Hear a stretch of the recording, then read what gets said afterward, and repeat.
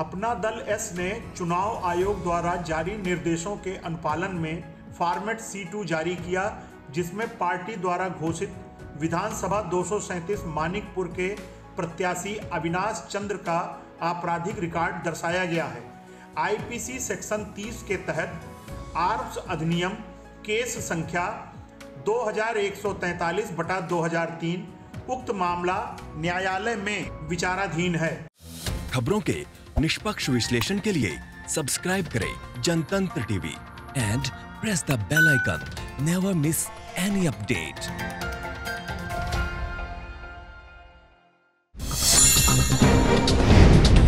download कीजिए Jantantra TV app को, जो कि अवेलेबल है गूगल प्ले और ऐप स्टोर पर।